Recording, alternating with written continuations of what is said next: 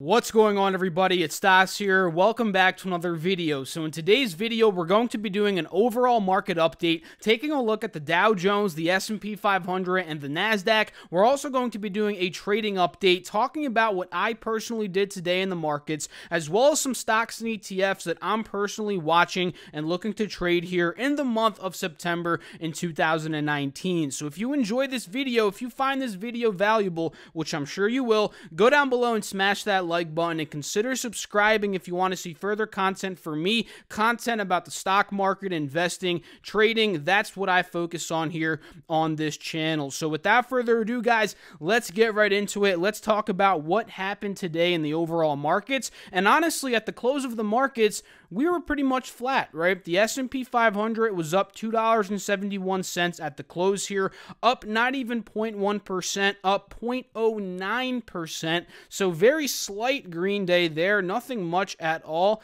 in terms of the S&P. The Nasdaq was up $2.25, up 0.03%. So that's really nothing at all from the Nasdaq either. And the Dow Jones Industrial Average up $69 at the close, up 0.25%. So a decent move there, but still, nonetheless, is really nothing crazy um, in terms of today's performance. And it makes sense because yesterday, if you guys were paying attention, the overall markets did amazing. We look at the S&P very quickly on the 5-day 5-minute or no, it wasn't yesterday. It was the day before, right? We gapped up. Oh, no, no. It was yesterday. We gapped up, right? Very strong green day. We kind of stayed flat. And today was a lot of the same. We stayed flat, right? So at this point, on this five day, five minute, we might as well start breaking technicals now. On this five day, five minute, for the S&P to continue this run, for, you know, the 500 largest publicly, uh, publicly traded companies to keep pushing up here,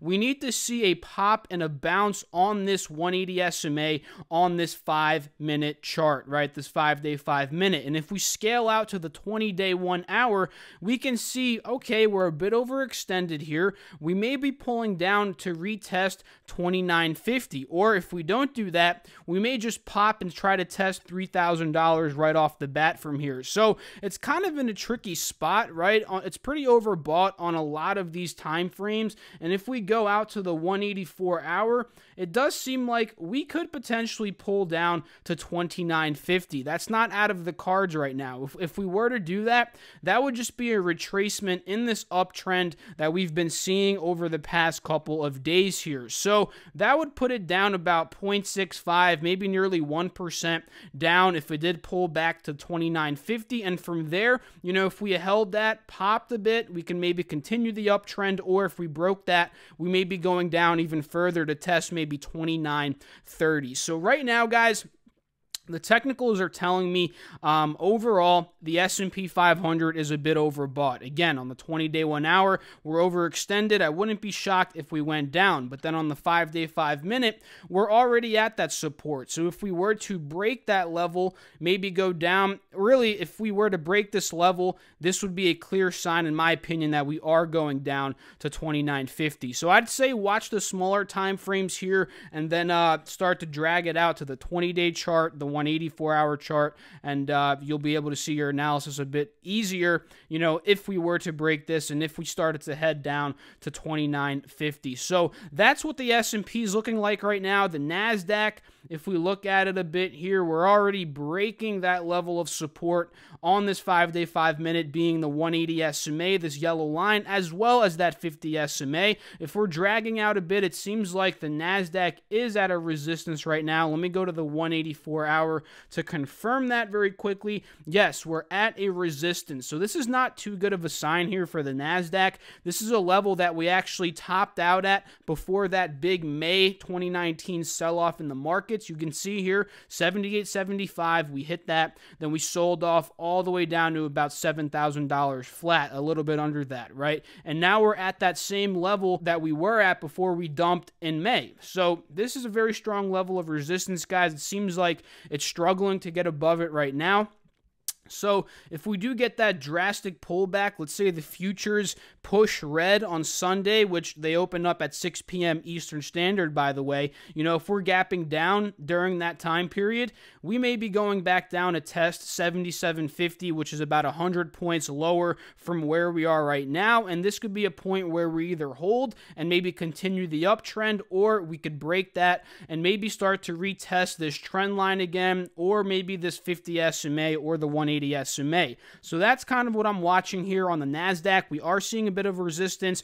Um, just keep an eye on what it does at that level that I just mentioned. So the Dow Jones Industrial Average here, guys, it seems like on the smaller time frame chart, it's breaking above a resistance. So let's drag out a bit and see what level that's at. This is the level that we were at before the May sell off on the Dow Jones. We were at about 26,650 roughly, right? We, we hit that level, then we sold off drastically. We popped, hit the all time high, making that a support again. We sold off in August, right? We sold off in the bloody August month that we had for the most part.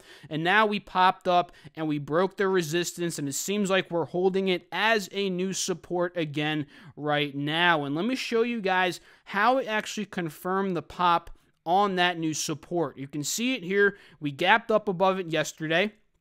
We pulled down either pre-market hours or rather pre-market hours today or after-market hours yesterday. I'm thinking it was after-market hours into pre-market today. We ended up popping and confirming that support as we held and popped above it this morning. So that's a pretty good sign and especially since we pushed to a high here at about 26,860, that's a good sign that the Dow is holding this level and trying to continue the uptrend and push higher to maybe even test the 27,000 $1,000 range. So good signs from the Dow Jones here, guys. If we were to, let's say, gap down hypothetically here and maybe break below 26,600, what I'd be watching there would be 26,400. That would be the next level of support. So overall, the markets are looking good. The Dow in specific um, is looking very good for potential high, higher highs here. Um, the S&P is looking good as well because we are holding an old resistance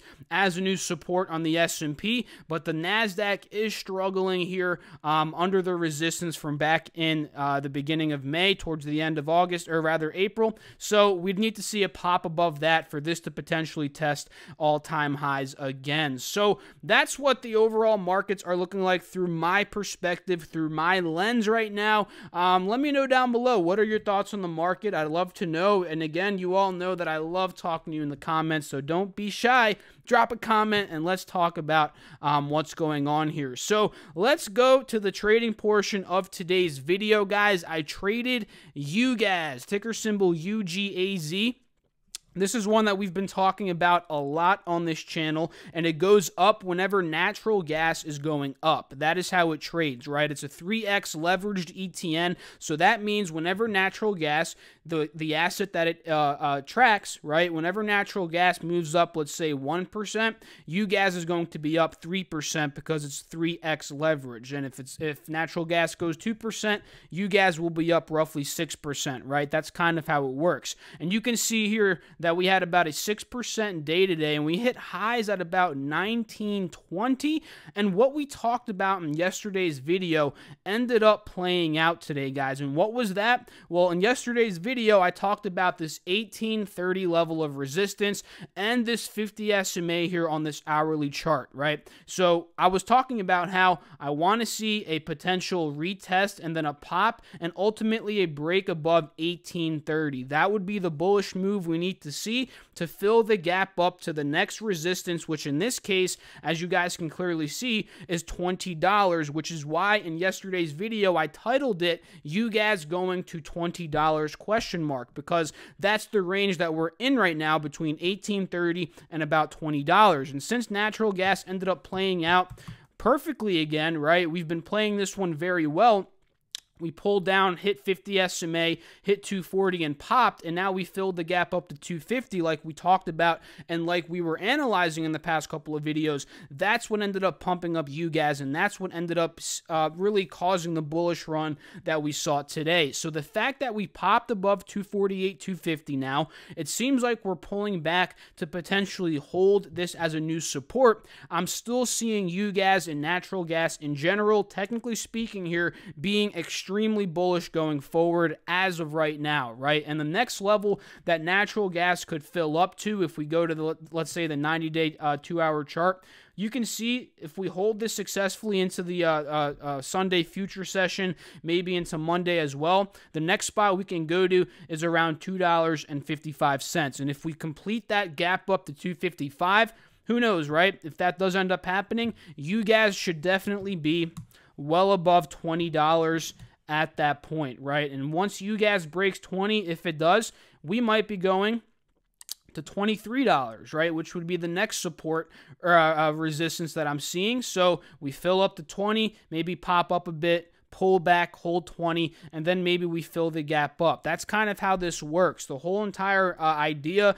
is trading in between these little, uh, uh, what, what, are they called? These little channels, right? That's kind of how I've been trading UGAZ and natural gas here over these past couple of days, and it's just been extremely, extremely bullish. So that's what I ended up doing. Actually, I didn't even tell you guys what I ended up doing. I kind of just broke down the ETN, but let me tell you guys exactly what I ended up doing. I almost got a bit too sidetracked there. So I got into UGAZ today a bit late. I didn't get in on the break of 1830 like originally planned. I ended up getting in on, I believe it was this pullback, or no, it was actually down here at about 1865 before we ended up popping and then holding this, right? So this is when I ended up getting in 1865. We started to pull back, and this was kind of looking like a bull flag.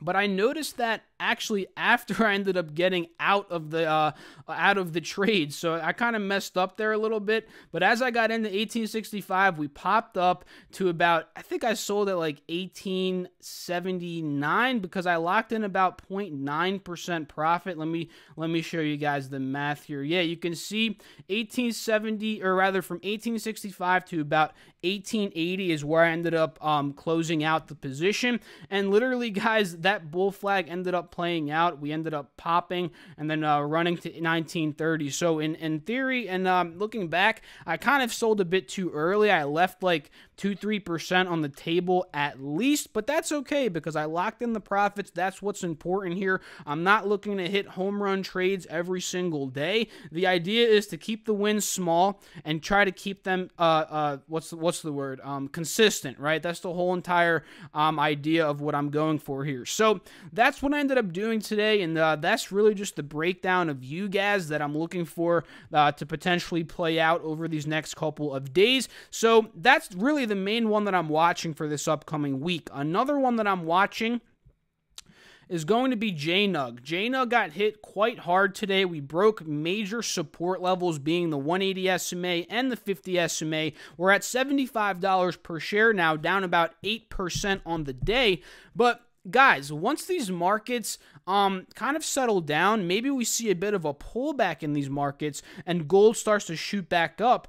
JNUG has a lot of margin here. Just be careful because it is now breaking under again like i said these moving averages so don't get caught in a falling knife but if the markets start to sell off a bit if the markets cool off a bit you know this can do very well because if we look back on gold really quickly gold is on the 180 sma support right now on this four hour chart which has been a support over the past couple of months for gold. So this can definitely hold, and if it pops here, GDX should do well from there, which is what JNUG trades based upon. And just take a look. GDX is holding that 180 SMA on the four hour chart as well. So if we pop here and end up testing these highs at about $30, look how much margin of profit that is. That's about 7% on GDX. And since JNUG is a 3x leveraged ETF, that's about a 21% move at least that JNUG has in store if GDX pops above that moving average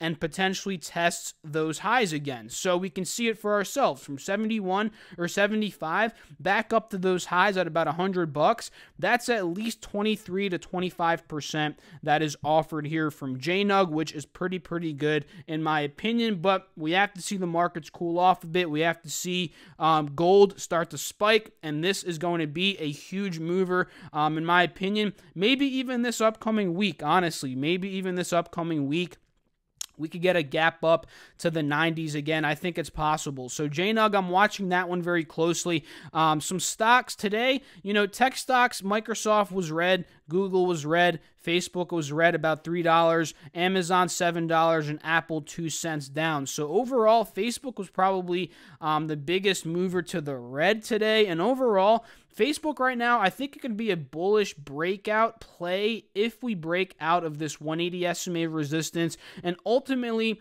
break into the 190s and successfully hold this level uh, as a support, right? If we hold 190, we could potentially start to retest the 200s again and uh, really start trending up in this next channel that Facebook could be in again if it breaks and holds that level at 190. So, Facebook, I'm watching that one for sure right now. ATV, let's take a look at ATV very quickly because this one's been very bullish, guys. Very bullish. I talked about this about a week ago. About a week ago in the video. I know you guys know that quote. And I was talking about ATV because it was trending at about $51.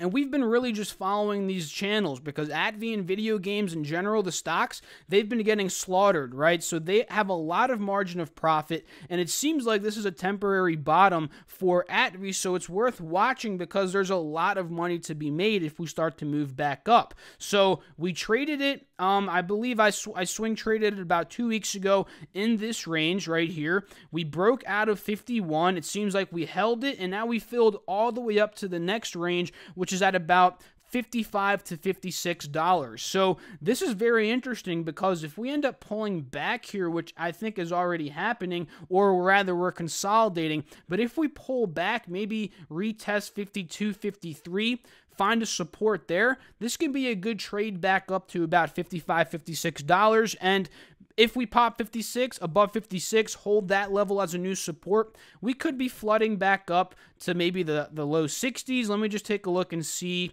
um, what would be the next support. Yeah, literally the low 60s, right? That would be the next zone um, gap that we could potentially fill up to about $62. So at me, I'm definitely watching that one. Um, Facebook, JNUG, and UGAZ. So that's it for this video, guys.